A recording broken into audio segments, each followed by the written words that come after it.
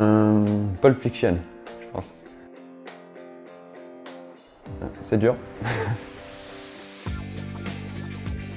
Euh, je pense bah, championnat de France cette année où j'ai gagné.